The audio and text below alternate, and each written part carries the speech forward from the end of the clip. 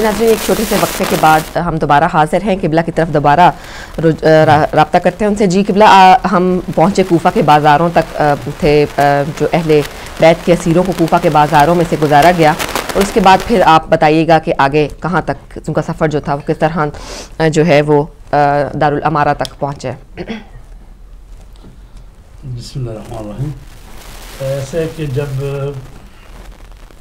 اسرائے آل محمد کو بازاروں میں پھرایا گیا اور اصل مقصد تو ان کا یہ تھا کہ لوگوں پر خوف اور دہشت پھیل ہاں جی۔ جائے کہ دیکھو حسین ابن علی نے ہماری حکومت کو تسلیم نہیں کیا تو ہم نے نبوت اور رسالت اور اہل بیت کے خاندان کے ساتھی کو روح و رعایت نہیں کی۔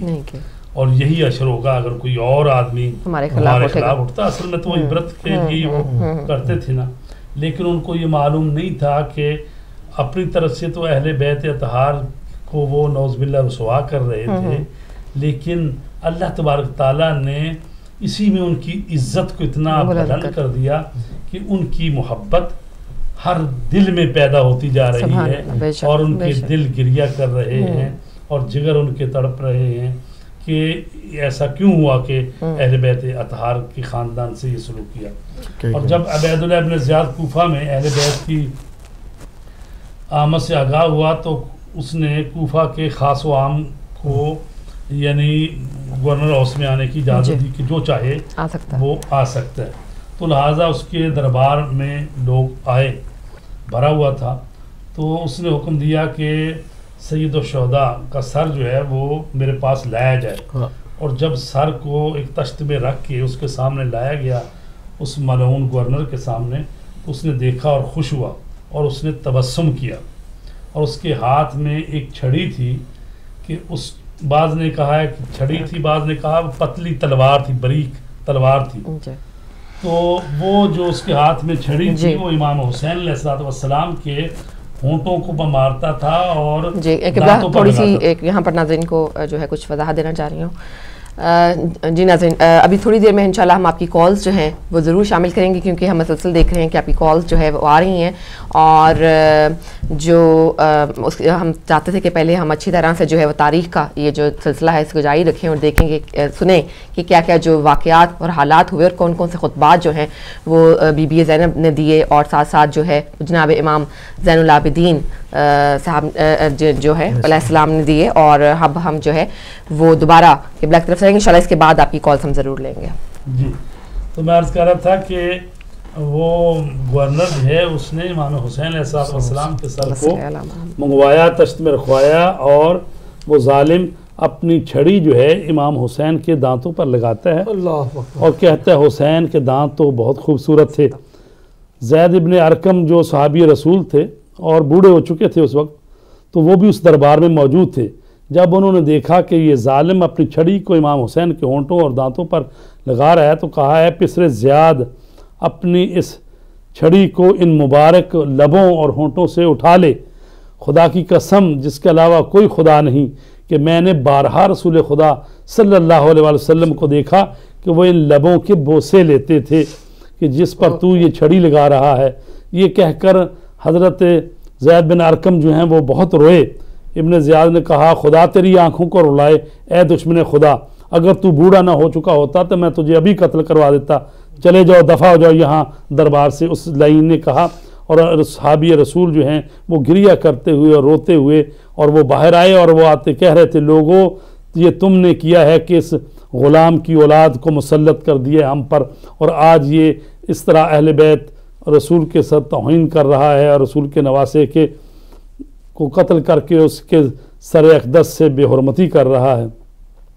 تو وہ جب باہر آ گئے تو جناب زینب قبرہ سلام اللہ علیہ جو کہ اس اجنبی خاتون کی طرح آئی تھیں اور کہا گیا کہ ان کا لباس بھی جو تھا وہ یعنی اس طرح سے لباس تو نہیں تھا فاخرہ بالکل یعنی پس جی۔ سا لباس آپ نے پہنا ہوا تھا۔ اور ایک کونے میں جا کر بیٹھ گئی، کنیزوں نے آپ کی اطراف آتا کر لیا اور آپ کو اپنے گھیرے میں اندر چھپا لیا۔ ابن زیاد حرامی کہنے لگا کہ یہ عورت کون ہے؟ تو جو ایک طرف جا کر بیٹھی ہے، تو کسی نے اسے کوئی جواب نہ دیا۔ دوبارہ اس نے پوچھا، اس نے جواب نہیں ملا، تو تیسری دفعہ ایک کنیز نے کہا کہ یہ جناب زینب بنت فاطمہ زہرہ بنت رسول اللہ ہیں۔ جب ابن زیاد نے یہ بات سنی، تو ابن زیاد نے اپنا منحوس چہرہ بی بی کی طرف کیا اور کہا کہ حمد ہے اس خدا کی کہ جس نے تمہیں رسوا کیا اور تمہارے جھوٹ کو ظاہر کیا۔ جناب زینب قبرہ نے جب یہ سنا تو فرمایا کہ الحمدللہ ہلزی اکرمنا بنبی محمد صلی اللہ علیہ وآلہ وسلم بطحرنا من الرجس تطہیرا وَإِنَّمَا يَفْتَزِهُ الْفَاسِقُ وَيَقْزِبُ الْفَاجِرُ وَهُوَ غیرنا آپ نے فرمایا، ہم اس پروردگار کی کہ جس نے ہمیں نبی سے عزت و شرف بخشا اور ہمیں طیب و طاہر قرار دیا اور ہم سے رجس کو دور رکھا۔ اور فاسق ہے جو رسوا ہوتا ہے، فاجر ہے۔ جو جھوٹ بولتا ہے اور وہ ہم نہیں ہیں، وہ ہوا غیر ہونا وہ ہمارے غیر ہیں۔ تو گویا بی بی اس کے منہ پر یہ کہہ رہی ہیں کہ ہم فاسق و فاجر نہیں ہیں، ہمارے غیر اور ہمارے دشمن جو ہیں، وہ فاسق و فاجر ہیں۔ جب اس نے یہ بات سنی تو وہ آگ بگولا ہو گیا اور اس نے اب کہا کہ، اے زینب، تم نے دیکھا کہ خدا نے تم سے، تمہارے بھائی کے ساتھ کیا سلوک کیا؟ تو بی بی نے پھر فرمایا، جب اس نے کہا، کیفا رعت سن اللہ بے عقی کے؟ اہل بیت کے۔ اور پھر دیکھو یہ کس طرح کی تعلیم دے رہے ہیں کہ گویا یہ جبر ہے، جو کچھ ہوتا ہے اللہ کی طرف سے ہوتا ہے۔ تو کہہ رہا ہے کہ دیکھا تم نے اللہ نے تیرے بھائی کے ساتھ کیا سلوک کیا؟ تو بی بی نے فرمایا مارائی تو اللہ جمیلہ۔ ہم نے تو اللہ سے جو کچھ دیکھا، وہ جمیل ہی جمیل ہے۔ اور تو اپنی فکر کر، اے ابن زیاد کہ جب قیامت کا دن ہوگا اور محمد مصطفیٰ شکایت کرنے والے ہوں گے، ملائکہ گواہی دینے والے ہوں گے، اس وقت وہ اپنے ہاتھوں کو کاٹے گا کہ کاش یہ میں نے نہ کہا ہوتا، اس دن کی تو فکر کر، اے پسر زیاد، خدا تیرے ہاتھ توڑے، اس وقت کی فکر کر۔ تو اب جب اس نے یہ باتیں یہ سنی، وہ تو یعنی لوگوں پر روب ڈال رہا تھا کہ ہم نے یہ کام کر دیا اور ان کو کیا خبر تھی کہ اہل بیت اتحار کی یہ خاتون جو ہے وہ ہمیں اس طرح سے بڑے دربار میں رسوا کر دے گی؟ اب اس نے کہا کہ اس کو قتل کر دو۔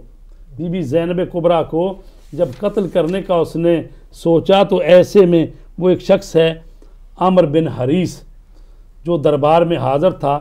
تو اس نے کہا کہ معذرت چاہتا ہوں اے امیر یہ عورت ہے اور عورتوں کی باتوں پر مواخذہ نہیں کیا جا سکتا۔ پس ابن زیاد خبیص کہنے لگا، خدا نے تیرے سرکش بھائی کو اور اہل خانہ کے قتل سے میرے دل کو شفا بخشی ہے۔ جناب زینب نے جب یہ کلمات سنے تو گریا کی رکت تاری ہو گئی اور رو پڑی اور فرمایا، تو نے ہمارے بڑے کو قتل کیا اور ہماری جڑ اور شاخ کو کاٹ دیا اور بنیاد کو کھاڑ دیا۔ اگر تیری شفا اسی میں تھی تو پھر تجھے شفا مل گئی۔ ابن زیاد کہنے لگا یہ عورت سجا ہے یعنی گفتگو سجا اور قافیہ سے کرتی ہے، اور مجھے اپنی جان کی قسم، اس کا باپ بھی اسی طرح بڑا سجا اور قافیہ اور شاعر تھا۔ جناب زین نے فرمایا، میری حالت اور مجھے فرصت سجا نہیں۔ اور ابن نما کی روایت کے مطابق آپ نے فرمایا کہ مجھے اس شخص پر تعجب ہے کہ جسے اپنے آئمہ کو قتل کر کے شفا ملتی ہے، جبکہ وہ جانتا ہے کہ قیامت کے دن یہی جو ہیں ان سے انتقام لیں گے۔ تو عزیزہ نے گرامی، اب اس ظالم نے امام زین العابدین کی طرف رخ کیا، کہا کہ یہ کون ہے؟ تو گورنر کو کہا گیا کہ یہ علی بن حسین ہیں۔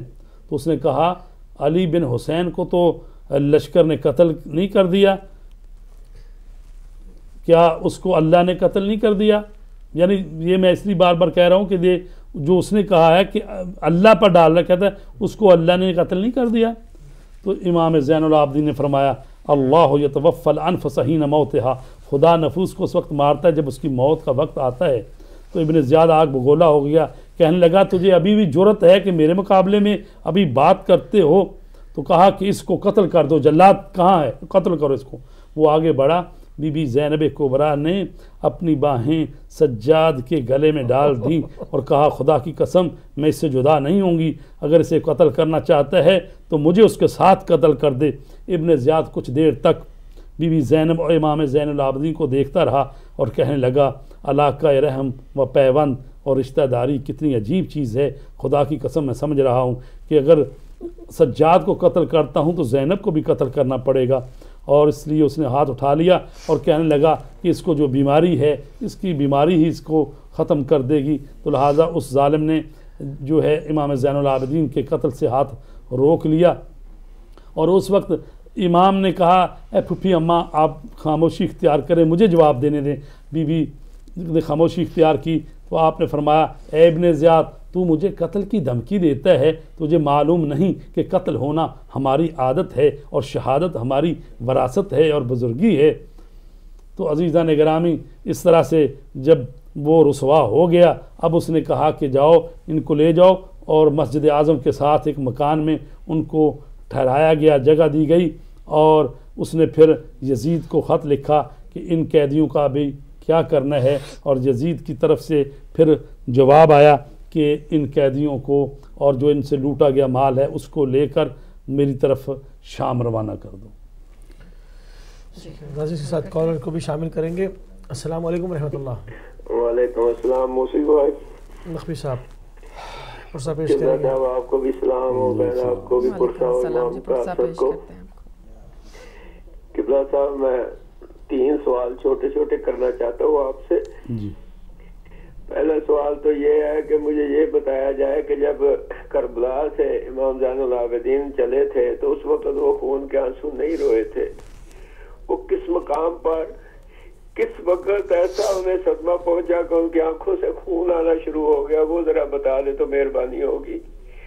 دوسرا سوال کہ اکثر ہم لوگ جو ہے وہ چیلم مناتے ہیں امام حسین علیہ السلام کا، کیا یہ دوسرے جو ہے، امام، ان کا بھی اس طریقے سے چیلم منایا جاتا ہے، یا صرف امام حسین کا ہے، تو اس میں تھوڑی تشریح کر دے تو مہربانی ہوگی۔ تیسرا سوال آپ سے یہ ہے کہ ہم مجلس جلوس باعث حیرانگی نہیں، یہ احتجاج ظلم ہے پیمانگی نہیں، کرتا ہے کون مات میں شبیر بے سبب، یہ انتہائی عشق ہے دیوانگی نہیں۔ تو ہم جب حضرت اویس کرنی کو جب دیکھتے ہیں تو جب انہوں نے گریا کیا، ایک دان کے ٹوٹنے پر تو رسول پاک نے انہیں جبا بھیجا اور بھیجنے جن کے ہاتھ میں بھیجا وہ بھی ان کے وقت کے خلیفہ کے ساتھ وہ دے کے آئے۔ تو اس وقت تو کسی نے اعتراض نہیں کیا اور آج کیا وجہ ہے کہ اسی صحابی رسول کی قبر کی بے حرمتی بھی کی جاتی ہے اور ان کی قبر کو ہزیڑا بھی جاتا ہے؟ یہ کیا یہ وہی یزیدیت کی وجہ سے ہے کہ جو امام کو نہیں پسند کرتے؟ اور کیا یہ وہی وجہ ہے کہ جو آج بھی امام کے خلاف ہے اور ان کے صحابہ کے خلاف ہے اس تین سوالوں پہ تھوڑا سا جواب دے تو مہربانی ہوگی۔ اگر تھوڑا سا ٹائم دے تو میں ایک اور بات کرنا چاہتا ہوں اگر اجازت دے تو۔ جی جی۔ بسم اللہ۔ ساد والے دروازے تو کل ستر قدم دربارے۔ لگے چوبی گھنٹے سیدا کو دی کافل دی رفتار۔ قبلہ جب گیا نا کافلہ بازار میں، تو بہت زیادہ بھیڑ تھی، لوگ پتھروں کی بارش کر رہے تھے، پتھر مار رہے تھے۔ تو ایک عورت چھت پہ کھڑی تھی، وہ پتھر مارنے لگی۔ تو نیچے سے جناب سکینہ نے آواز دی، بہن، تو تو پتھر نہ مار۔ جب اس نے دیکھا نا کہ یہ مجھے رشتے سے بلا رہی ہے، کون ہے؟ تو اس نے دیکھا تو سکوں باغی سمجھ کے پتھر نہ مارے، ابو ذر دی دی فرمایا، کائنات دا بدل نظام گیا، وہ کل دنیا رنگ بدلایا۔ ایو پیر تڑے دی ساگ ہے وہ جکو مسلمانہ نہیں دبنایا بی بی کو پتا چلا تو وہ نیچے آ گئی نیچے آ کے پاؤ پہ آ کے پوچھ دیا میں کو خبر نہیں تو زینب ہے ہو گئیا علمی وچ بلے میں کو کم ظرفی بہت تنگ کی تائیو گئیاں گستاخی تے تلے او کیڑی مجبوری تے کو گلے آئیے او بازار وچے سر کھلے ہوے بہن اٹھارہ بائیاں دیو ودیک دے کی تے رلے بی بی نے اس کا جواب یوں دیا او میڈے مک گئے مان براوا دے تے جدا شام غریب آ گئی میڈی چادر لے گئی اوے لے وہ بدی زینب باج ردا گئی۔ بہت مہربانی کی بلا آپ نے مجھے ٹائم دیا کے لیے۔ جی جی قبلہ ان کے ہی سوالوں کے جواب درست دیتے ہیں فرماتے ہیں کہ جو ایک مثال مشہور مشہور ہے کہ امام زید العبی اسلام نے خون کا آنسوں سے گریہ کیا تو وہ کون سا مقام تھا؟ آیا یہ جب امام سے پوچھا گیا ہے کہ آپ کے لیے سخت ترین لمحات کون سے تھے کون سا مشکل ہے تو آپ نے تین دفعہ کہا نا الشام الشام الشام یہ وہی تھا وقت کہ جب امام کو یزید کے دربار میں پیش کیا گیا اور بیبیاں جو ہیں، بارہ بیبیوں کو رسیوں سے باندھا گیا اور گلے میں رسیاں ڈالی گئیں۔ اور یہ اس کربناک طریقے سے کہ خود امام کے گلے میں تو توق اور زنجیر تھے ہی، بیبیوں کو بھی رسیوں سے باندھا گیا۔ اور یزید کے دربار میں جب پیش کیا گیا اور یزید جو سات سو بعض نو سو لکھے کرسیاں لگی ہوئی ہیں، یزید بیٹھا ہے اور آل اطہار کے اس خاندان عصمت و طہارت کو اس طرح سے پیش کیا گیا اور وہ منظر جو ہے وہ مولا کبھی بھولتے نہیں ہیں۔ تو یہ ہے جو خون کے آنسو لانے والا منظر ہے۔ دوسرے کا سوال ہے کہ چیلوں میں امام حسین علیہ السلام کا ہی صرف ہوتا ہے یا تمام آئمہ کا؟ جی یہ امام حسین کے خصائص میں سے ہے۔ یہ چہلم صرف امام حسین علیہ السلام کا ہوتا ہے باقی آئمہ کا چہلم نہیں ہوتا۔ لہٰذا یہ خصوصیت امام حسین کے ساتھ۔ جناب اویس قرنی مطلب سے کرنے کو تو ابھی جی۔ کرتے نہیں لوگ اب جو فوت ہو جاتا ہے اس کے کل کرتے ہیں جی، تیسرا کرتے ہیں۔ تو یہ تو ایک چیزیں ایسی ہیں کہ جو کچھ شریعت کی طرف سے تو نہیں ہے نا۔ یہ تو یہ ہے کہ لوگ جمع ہوتے ہیں جو دور سے رشتہ دار آ گئے وہ تیسرے دن آ جائیں۔ پھر یہ پہلی جمعرات پر چونکہ کہا گیا جمعرات کو روحیں آتی ہیں جو مرنے والوں کو اپنے گھر کی طرف آتی ہیں دیکھتی ہیں اپنی اولاد کو بچوں کو۔ تو یہ پھر ان کے لیے ایک ہدیہ تحفہ ہی ہے کہ بھی فاتحہ پڑھی جائے نظر نیاز دی جائے تو اس طرح پھر جو چیلم جو بہت دور کے رہ گئے ہیں لوگ تو وہ ایک پھر چیلم ہو جاتا ہے۔ لیکن یہ جو ہے اصل امام حسین علیہ والسلام سے ہی یہ مخصوص ہے۔ باقی آئمہ کے لیے چہلم اس طرح سے ہے نہیں۔ ٹھیک ہے۔ اچھا ایک پوچھنا ہے صحابی رسول حضرت اویس قرنی رضی اللہ تعالیٰ عنہ سے جو ہے وہ دشمنی کیوں ہے؟ ہم دیکھتے ہیں کہ ان کی قبر پہ بھی تکفیری حملہ کرتے ہیں اور اس کو خراب کرتے ہیں۔ وجہ کیا ہے؟ کیونکہ بڑے جلیل القدر صحابی ہیں اویس کرنی اویس اچھا۔ دیکھو آواز سے کرنی صحابی نہیں ہے۔ صحابی وہ ہوتا ہے جو کلمہ اس نے پڑھا ہوا تو رسول پاک کی صحبت میں بیٹھا ہو۔ ان کی زیارت کی ہو ان سے مشرف ہوا ان کے چہرے اقدس کی زیارت کی اس کو صحابی کہتے ہیں۔ صحبت سے ہے صحابی۔ جی۔ تو یہ یمن کے قبیلہ جو تھا نا کرن اس کے تھے یہ ویسے کرنی جی۔ تو یہ مسلمان ہو گئے تھے سن کے پہلے سے تو ان کی والدہ جو ہے ضعیفہ تھی۔ تو اس نے کہا میں جانا چاہتا ہوں ان کو سنبھالنے والا کوئی اور نہیں تھا مثلا مرد۔ تو انہوں نے کہا، بیٹے، پھر جانا ہے تو ایسا ہے کہ جاؤ اور وہاں رات رہنا نہیں، واپس آ جانا. تو ماں سے وعدہ کر لیے چلے آئے۔ تو چونکہ عاشق رسول تھے اور محبت رکھنے والے تھے، عبادت گزار اور پرہیزگار عارف باللہ تھے۔ تو یہ شخص آئے اور دیکھا کہ رسول پاک مدینے میں نہیں ہے۔ تو انتظار کرتے رہے، جب شام ہو گئی تو اس نے کہا، ماں سے وعدہ بھی کیا ہوا ہے۔ ایک طرف رسول پاک کی زیارت ہے، ایک طرف ماں کا سے وعدہ کیا ہے۔ تو پھر سوچتا رہا کہ کیا کروں؟ اتنا سفر بھی طے کر کے یمن سے آیا ہوں اور مدینے آیا ہوں اور پھر میں چلا جاؤں بغیر زیارت کرنے کے۔ تو اس نے کہا کہ پھر یہ بھی تو اللہ رسول کا ہی پیغام ہے کہ ماں باپ کی اطاعت کرو۔ لہٰذا اس نے رسول پاک کی زیارت نہیں۔ کی اور چلا گیا واپس۔ اور یہ جو اس کی اپنی ماں باپ کی اطاعت ہے اور یہ عشق رسول ہے تو حالانکہ اگر اس حساب سے دیکھا جائے تو عشق تو یہ کہتا ہے نا ہر چیز کو چھوڑ دو بس جس کا عشق ہے اسی کے پیچھے ہو لو۔ لیکن یہ عشق ایسا ہے جو عقل کے ساتھ ہے۔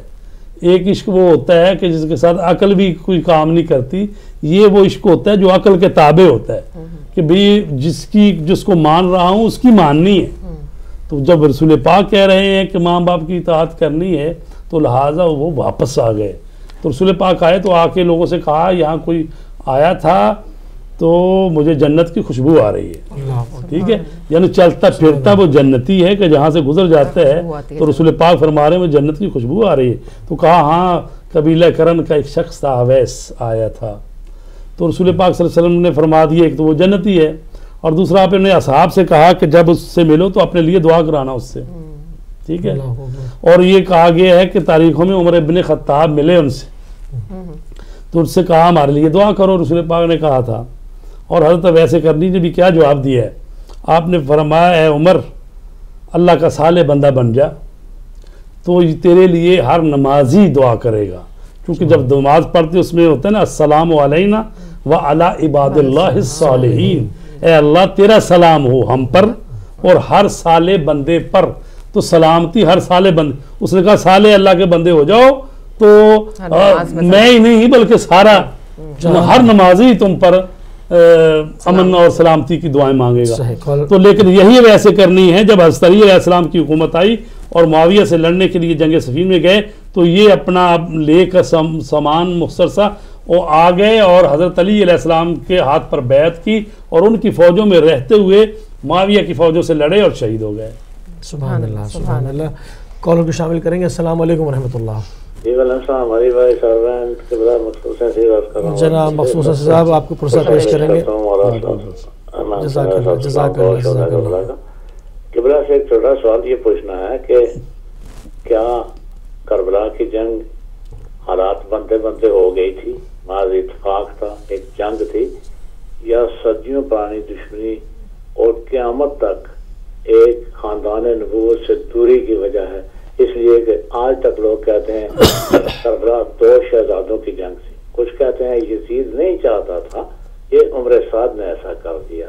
یزید کی حمایت میں آج تک اس محرم کی میٹرک پر اس دفعہ دو واقعات ہوئے ہیں عراق میں، جس میں سات شہادتیں ہوئی ہیں۔ اگرچہ یہ معمولی بات ہے اتنی بڑی حاضری میں اور جلوس میں نہیں ہوا تھا۔ میں سوال یہ ہے کہ قیامت تک حسین کی دشمنی باقی ہے کسی نہ کسی صورت میں؟ یزید کی ہمدردی کر کے بھی دو شہزادوں کی جنگ کہہ کر بھی۔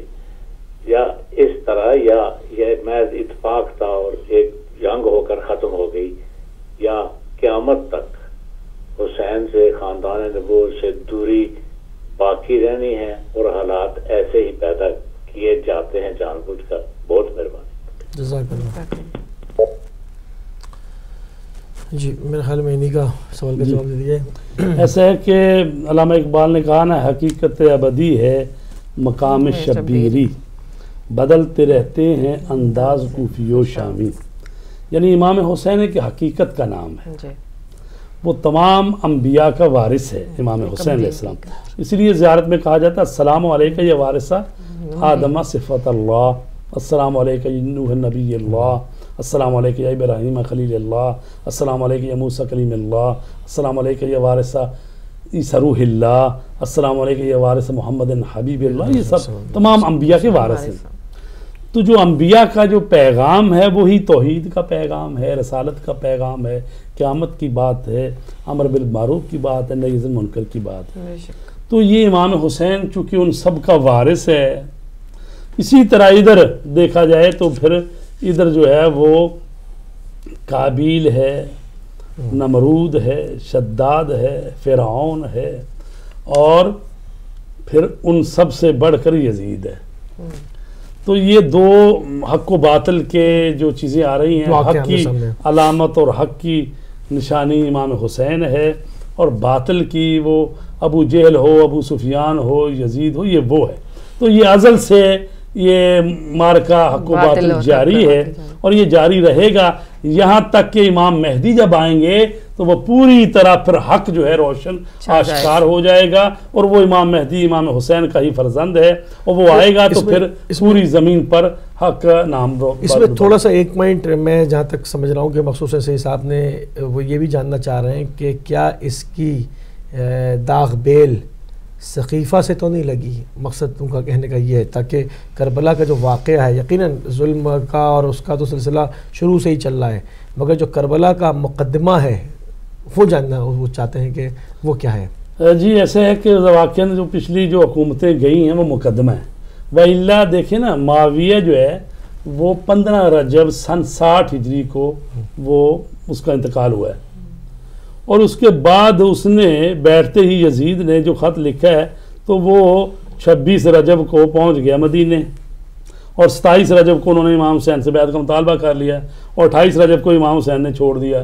تو دن تو ہفتہ ایک ہے یزید کی حکومت کا تو ایک ہی ہفتہ ہے ابھی آیا ہے۔ تو حقیقت میں یہ صرف وہ معاویہ وہ پچھلی حکومتیں وہ جو انحراف کرتے کرتے یہاں تک بات پہنچ گئی کہ اب یزید جیسا بھی مسلمانوں کو حکمران بن گیا جو کہ مولا حسین فرماتے جو شرابی ہے زانی ہے نفس محترمہ کا قاتل ہے مول بالفسق ہے اور یہ ساری اس کی چارج شیٹ جو آپ نے پیش کی ہے۔ تو وہ مسلمانوں کا حاکم بن گیا ہے۔ تو حقیقت میں وہ اس کے باپ کے جو بیس سالہ اقتدار اور بیس سالہ گورنری چالیس سال کا اس کا اقتدار اور اس سے پیچھے جو جو مسائل پیش آئے تو وہ سارا مقدمہ ہے تو لہٰذا کہ جب تک وہ مقدمے کو نہ سمجھو گے اور پھر لوگوں کو اسی لیے ذہن میں آتا نا کہ ابھی تو وہ آیا ہے اور پھر اور یہ حکومت تسلیم نہیں ہوئی تو۔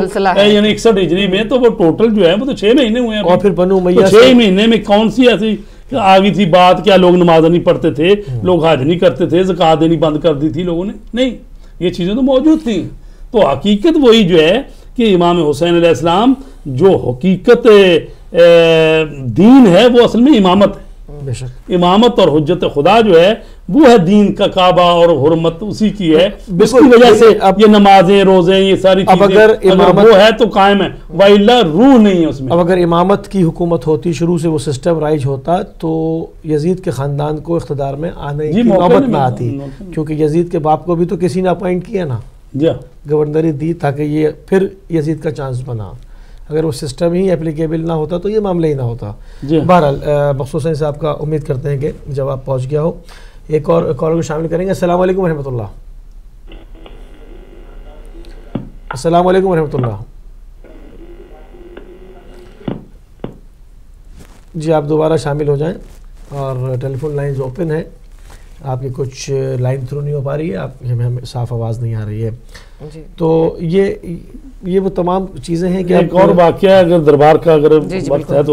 سن- سنا دیتے ہیں کہ اسی دربار ابن زیاد میں یعنی کوفے میں جب یہ امام حسین علیہ والسلام کا سر اقدس رکھ کے سامنے اور وہ کہہ رہا ہے نوز باللہ امام حسین کو کہہ رہا ہے کہ انہوں نے نوز باللہ نوز باللہ کہ انہوں نے جھوٹ اپنی امامت کی بات کی، خلافت کی بات کی اور حکومت کی بات کی، تو اس نے جب یہ باتیں کر رہا تو اس میں عبداللہ ابن عفیف ازدی، یہ وہ شخص ہے جو امام علی کا صحابی تھا، وہ جنگ جمل میں شریک ہوا، اس کی ایک آنکھ جو ہے وہاں پر شہید ہو گئی۔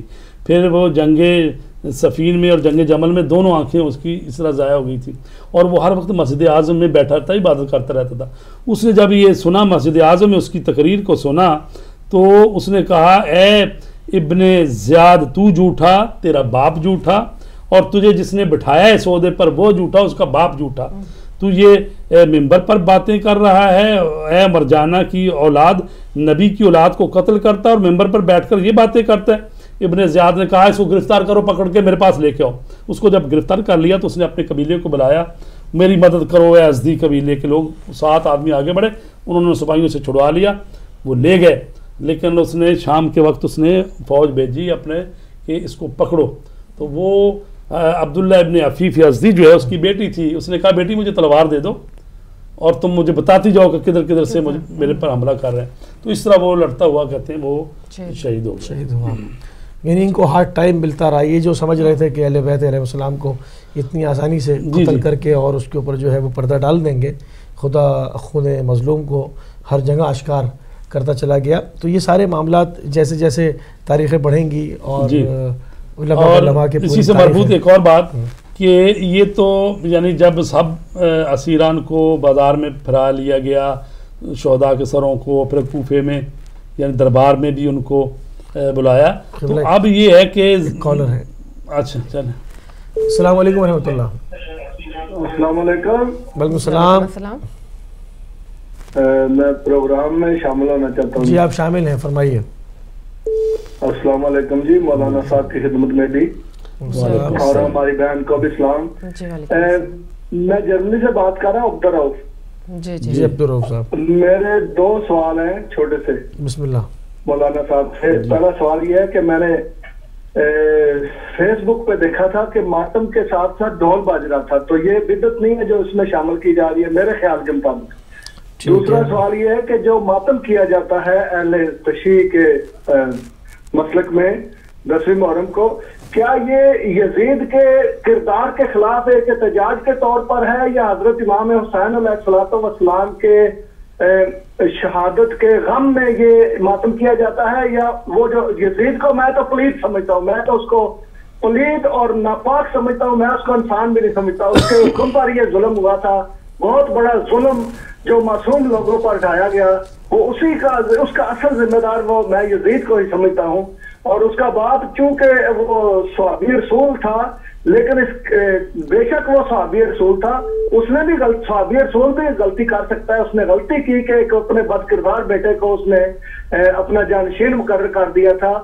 تو چلو وہ تو اس نے کیا، اس نے غلطی کی، لیکن اس کے حکم پر یہ بہت بڑا ظلم ہوا اور معصوم انسانوں کو اس نے یعنی کہ ظلم کے ساتھ قتل کیا شہید ہوئے یہ لوگ سوال یہ ہے وہی دوبارہ دہراتا ہوں کہ یہ جو ماتم ہے ٹھیک ہے۔ یہ آگے- آگے سوال۔ کردار کے خلاف یعنی جی، آگے سوال۔ آگے آپ کو۔ جواب دیتے ہیں آپ دیکھتے رہیں پروگرام جزاک اللہ اور کالر بھی شامل کریں گے السلام علیکم ورحمۃ اللہ وعلیکم السلام نقوی میری صاحب طرف سے آپ سب لوگوں کی خدمت میں پرسا جی۔ حاضر ہے خداوند عالم ہم سب کو حضرت امام حسین کے نفس قدم پر چلنے کی توفیق عطا فرمائے۔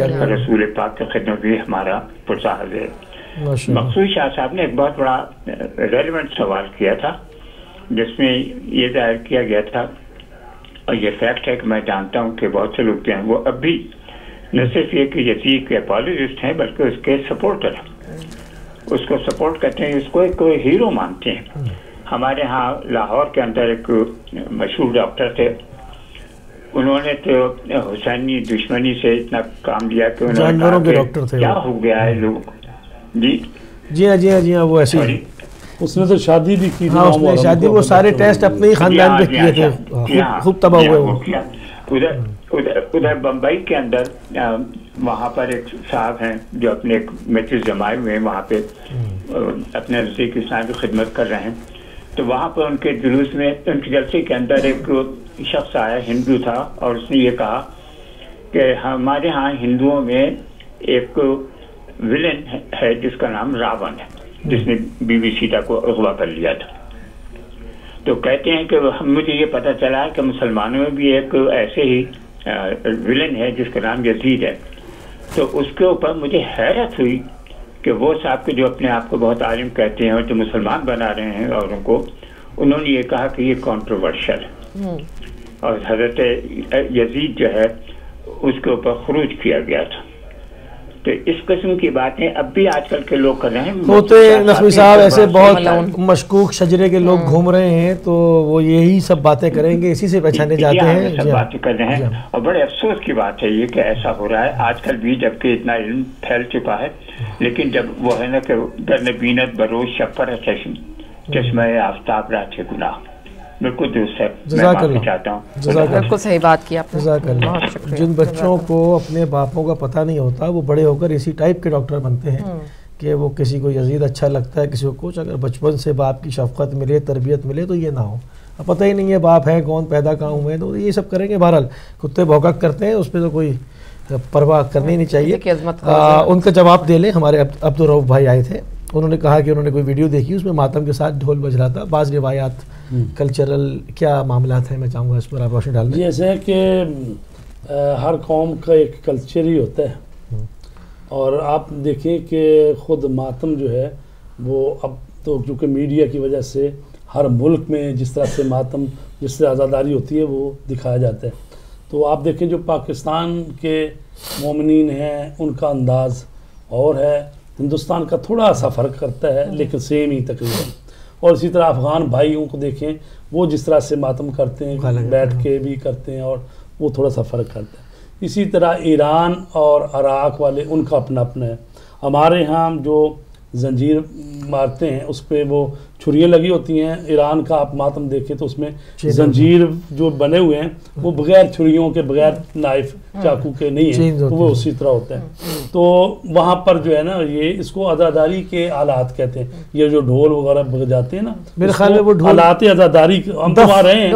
ڈھول ایک دف کی بات نہیں کر رہے ڈھول بھی بچتا ہے۔ اس میں ایسا نہیں ہوتا کہ جب جنگوں کیا فوجی بینڈ کرتے باجا نہیں تھے ہوتا جیسے اچھا جی۔ اس قسم کا۔ چونکہ ہمارے ہاں تو مسلسل نوہے پڑے جا رہے ہوتے ہیں اور وہ بعض اگر سپیکر لگے ہوتے ہیں تو نوہوں کے اس پر ماتم ہوتا ہے۔ لیکن وہاں جو ہے کہ وہ لوگ جو بعض علاقوں میں ہے کہ وہ پھر ڈول بجتا ہے نا تو اس پر وہ ماتم کیا جاتا یعنی ہے ایک جنگی ماحول بناتے ہیں ہاں تو اس کو یعنی مجتہدوں نے نہیں کہا کہ بھی کوئی بدت ہے۔ اگرچہ وہ کہتے ہیں کہ بہتر یہی ہے کہ آپ ڈول وغیرہ کے بغیر ماتم کریں۔ لیکن بہرحال بعض علاقوں پہ یہ اس کا استعمال کیا۔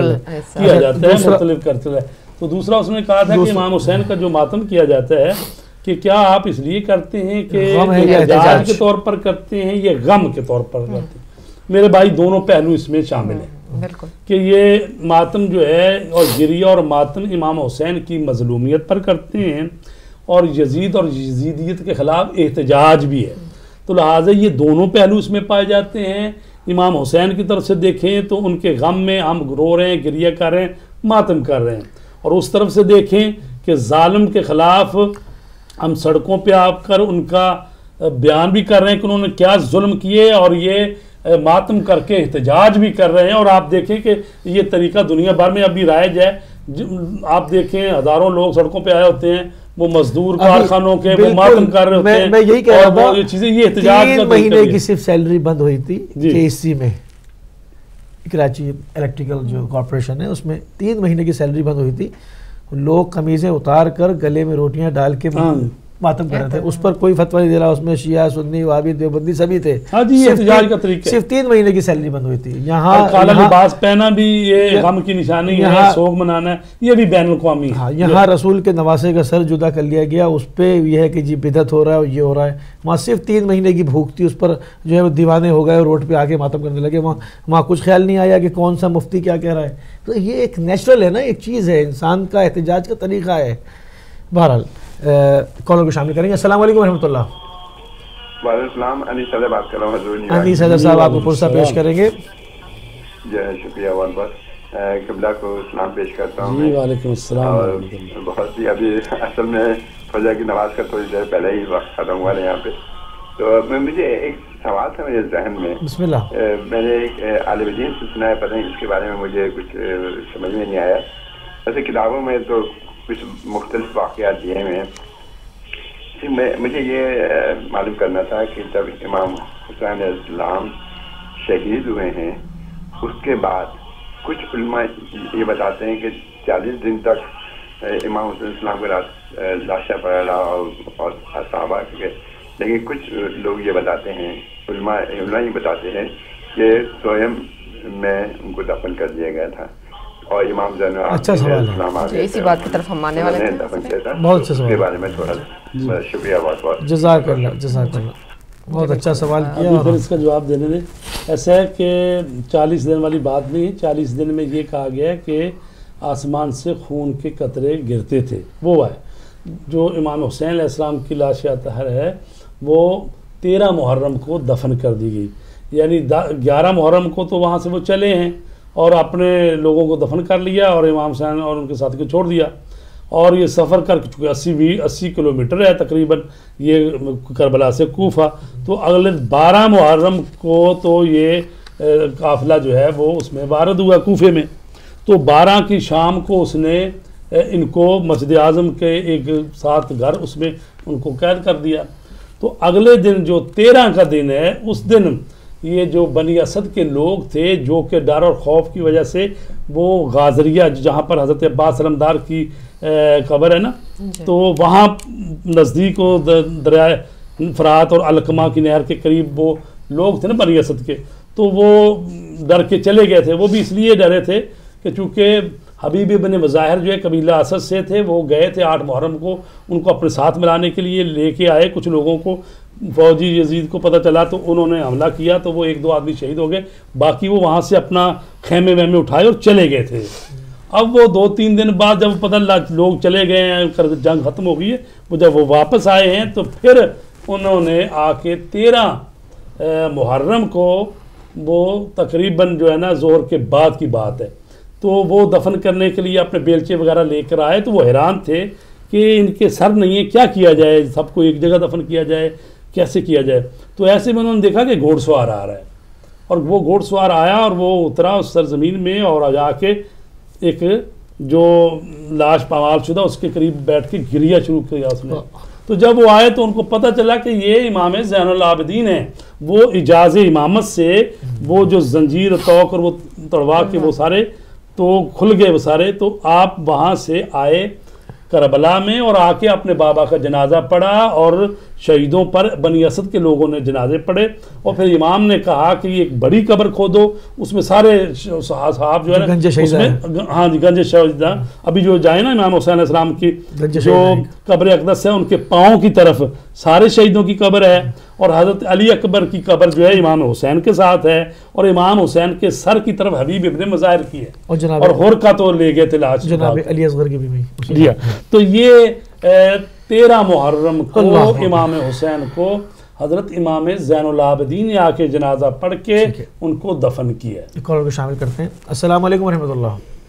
وعلیکم السلام۔ جی بھائی یہ لائف ہے نا کال جی جی بالکل۔ جی ہاں جی۔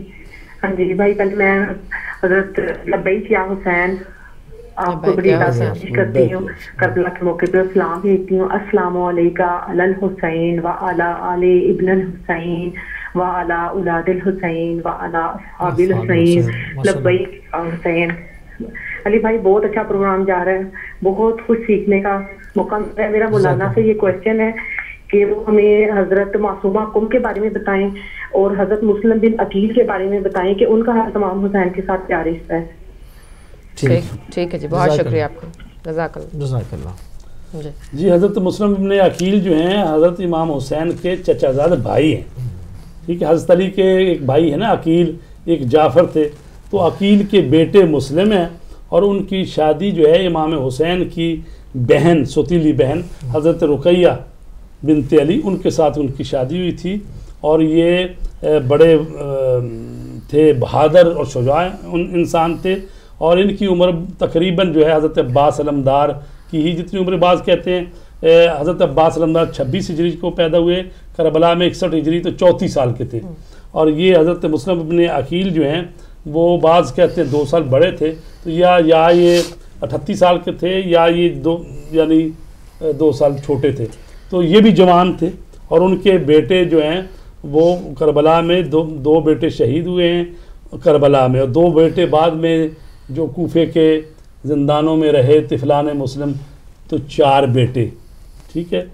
تو چار بیٹے شہید ہوئے ہیں خود آپ خود شہید ہوئے ہیں تو حضرت رقیہ کا جو کربلا میں جو قربانی ہے وہ بہت عظیم قربانی ہے۔ اور رہ گئی حضرت بی بی معصومہ سلام اللہ علیہ تو وہ حضرت امام رضا علیہ السلام کی بہن ہے۔ حضرت مس- حضرت امام موسیٰ کاظم علیہ السلام کی بیٹی ہے امام جعفر صادق کی پوتی ہے تو امام جعفر صادق نے فرمایا کہ ہماری بیٹی اور ہماری خاندان کی خاتون جو ہے وہ قم میں اس کا مزار ہوگا جو اس کی زیارت کرے گا گویا کہ اس نے جناب فاطمہ زہرا کی زیارت کی۔ تو یہ بی بی جو ہے اپنے بھائی کی جدائی میں مدینہ میں تھیں اور آپ کو بلا لیا گیا ایران میں۔ وہ مشہد جہاں پر آپ کا بھی روزہ ہے، تو بی بی اپنے گھر والوں کے ساتھ اور خواتین تھیں اور بھائی بھی تھے ساتھ، تو یہ قافلہ آیا تو اس وقت چونکہ ایران میں یہ شیعہ نہیں تھی حکومت، یہ معمول شید کی حکومت تھی، یہ شیعہ تو تقریباً ساتویں ہجری علامہ ہلی کے زمانے میں یہ بنے ہیں پہلے نہیں تھے۔ تو لہٰذا قافلے پر بھی حملہ کیا گیا، کچھ لوگ مارے گئے، تو بی بی جو ہے وہ بیمار ہو گئیں اور اس کے بعد وہ سترہ دن رہی ہیں۔ وہ کم میں آ کے صرف سترہ دن وہ ایک گھر بھی ہے نا وہاں تو وہاں پر وہ دے- گھر ہے جہاں پر بی بی سلام۔ اللہ علیہ نے آ کے۔ آخری دن گزارے ہیں تو حضرت بی بی معصومہ کی جو وفات ہوئی ہے وہ ہے دو سو ایک ہجری میں۔ اور امام رضا کی ہوئی ہے دو سو تین ہجری میں تو امام رضا کی شہادت بعد میں بی بی معصومہ کی پہلے۔ جی بالکل۔ میں جو۔ بات ایک رہ گئی ہے وہ جی۔ کرنا چاہتا ہوں جی۔ کہ جب کوفے کے بازاروں میں شہداء کے سروں کو پھرا لیا اور پھر قید کر دیا تو اگلے دن جو رات گزر گئی تو کہا جاتا ہے اگلے دن پھر ابن زیاد جو گورنر تھا کوفے کا اس نے کہا کہ صرف حسین کے سر کو لے جاؤ اور اب دوبارہ کوفے کے گلیوں میں اور چونکوں میں پھیراؤ تاکہ لوگوں کو عبرت حاصل ہو جائے تو اس وقت زید بن ارکم سے روایت ہے کہ جس وقت اس سر مبارک کو پھرا رہے تھے میں اپنے چوبارے میں بیٹھا تھا دوسری منزل پر اوپر۔ اور یہ ملعون جو اس سر کو نیزے پر چڑھایا ہوا تھا جب میرے قریب پہنچا تو میں نے سنا کہ سر مبارک اس آیت کی تلاوت فرما رہا ہے۔ ام حسبتا ان اصحاب القحف والرقیم قانو من آیاتنا عجبا۔ اور جب یہ دیکھا کہ امام حسین کا کٹا ہوا سر جو ہے وہ ہونٹ ہل رہے ہیں اور یہ تلاوت کی آواز آ رہی ہے کہ کیا لوگ یہ گمان کرتے ہیں کہ اصحاب کاف و رقیم جو ہیں وہ اللہ کی عجیب نشانیوں میں سے تھے۔ تو کہتے ہیں زید بن ارکم خدا کی قسم میرے رونگٹے کھڑے ہو گئے۔ اور میں نے پکار کر کہا اے فرزند رسول آپ کے سر مقدس کا معاملہ خدا کی قسم واقعہ صحاب و کاف رقیم سے بہت عظیم ہے وہ تو اسی طرح سوئے رہے اللہ نے پھر تین سو سال زندہ رہے اور وہ بات انہوں نے کی پھر دوبارہ فوت ہو گئے۔ تو آپ کا تو سر جو ہے وہ جدا ہے اور آپ کا جسم جو ہے وہ کربلا میں پڑا ہے۔ آپ کا واقعہ تو اصحاب کاف سے بھی زیادہ عجیب ہے۔ جی۔ بہت شکریہ قبلہ۔ آپ نے جو ہے وہ پھر ایک مرتبہ وقت دیا اور جو پورا تاریخی حوالہ جات تھے اس سے جو ہے وہ مومنین کی تشنگی کو جو ہے وہ دور فرمایا اور لائف کالرز کا بھی شکریہ کہ وہ آتے ہیں سوال کیونکہ سوال کریں گے تو انسان سیکھتا ہے کیونکہ اب سوال اگر کوئی ایک انسان کرتا ہے تو اس میں سیکھنے والوں کی تعداد ہزاروں میں ہوتی ہے کیونکہ ایک سو ساٹھ ملکوں میں ماشاء اللہ ہماری ٹرانسمیشن جاری ہوتی ہے اور اس سے پہلے کہ ہم پروگرام ختم کریں ایک مرتبہ پھر اپیل کریں گے ہماری ون آف ڈونیشن کی کیمپین جاری ہے سیونٹی ٹو پاؤنڈ تو اس میں حصہ لینا نہ بھولیں مومنی اس میں جو درجک شامل ہو رہے ہیں مگر ابھی بھی جو ہے وہ جتنی ہمیں درکار ہے اتنے پورے نہیں ہوئے تو آپ زیادہ سے زیادہ آگے بڑھ چڑھ کے حصہ لیں تاکہ اس عزاداری کے اس پلیٹ فارم کو جہاں سے محمد علیہ محمد علیہ السلام کا میسیج آن ایئر کیا جاتا ہے، اس کو جو ہے کام کرنے میں ہمیں بھی آسانی ہو اور ہماری تمام جو انرجی ہے، جو صلاحیتیں ہیں وہ اپنی پروڈکشن کی طرف زیادہ مبزول رہیں نہ کہ ہم جو ہے وہ اس معاملات کے کون سا بل جانا ہے اور کون سا ہولڈ کرنا ہے اس میں ہم نہ پھنسے رہیں۔ تو یہ آپ ہی کے تعاون سے جو ہے وہ ممکن رہے گا جتنی جلدی آپ اس کو کیمپین کو کمپلیٹ کرتے ہیں ہم بھی جو ہے وہ بہتر سے بہتر ٹرانسمیشن دینے کے قابل رہیں گے۔ اور اسی کے ساتھ جی، آپ کا وقت ختم ہو جی، گیا۔ ناظرین آپ کا بھی بہت شکریہ ادا کریں گے اور بہت زیادہ شکریہ ادا کریں گے بہت شکر گزار ہیں ہم قبلہ سید فدا حسین بخاری صاحب کے جنہوں نے ہمارا ساتھ دیا اور بہت ساری معلومات جو ہیں بہت ساری ہسٹری کے جو اوراق ہیں ان وہ جو ہے پلٹا اور یقیناً وہ باتیں جو شاید ابھی تک ہمیں صحیح طرح سے معلوم نہیں تھیں اور بالکل واضح ہو چکی ہیں۔ ان کا بھی بہت شکریہ ادا کریں گے آپ کا بھی بہت شکریہ ادا کریں گے اور ایک طرف سے ایک دفعہ پھر ہماری طرف سے پرسہ قبول کیجیے۔ ہمیں اجازت دیجیے انشاءاللہ منڈے کے دن آپ سے دوبارہ ملاقات ہوگی۔ اپنا اور اپنے ارد گرد رہنے والوں کا بہت سا خیال رکھیے گا۔ السلام علیکم ورحمۃ اللہ وبرکاتہ۔